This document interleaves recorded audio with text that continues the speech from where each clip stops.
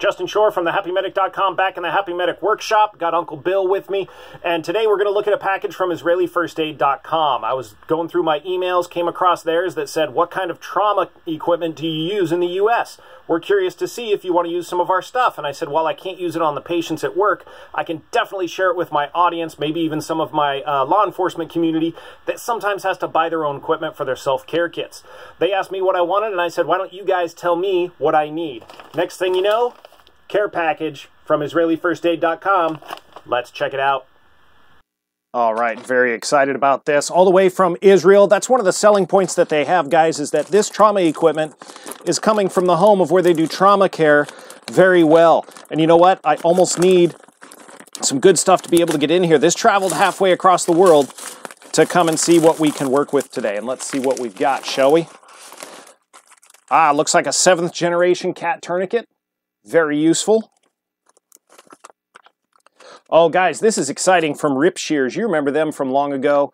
Um, shoot, almost eight or 10 years ago, we started using the Rip Shears. This is a specific Rip Shears holster, if you could take a look at that. One of the things that the folks in the firehouse got nervous about was me sitting down uh, and moving around the equipment with my Rip Shears hanging out. That's going to be a lot of fun to test out. Rip Shears RS2 Tactical.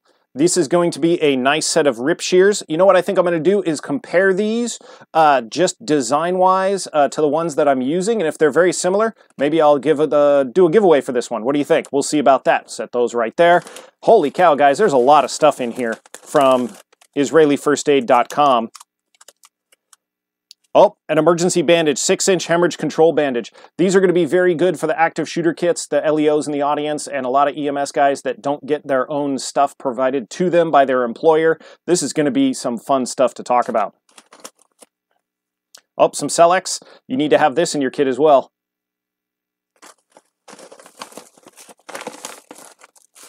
And, oh, it looks like a little uh, self-care kit to put it all in. This is going to be a lot of fun, guys. We might give this whole thing away to a lucky viewer uh, here at thehappymedic.com and on YouTube. So make sure you follow along uh, down in the comments and make sure you go to the blog at thehappymedic.com and see what we put together. Oh, there's something else hiding in there.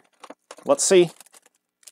Oh, very cool. A nice patch, you know, the universal. Working at the airport, uh, a lot of people say that the uh, Star of Life doesn't really mean much, but you put a cross on something, somebody knows hey man, that's for first aid. So very excited to try all this stuff out.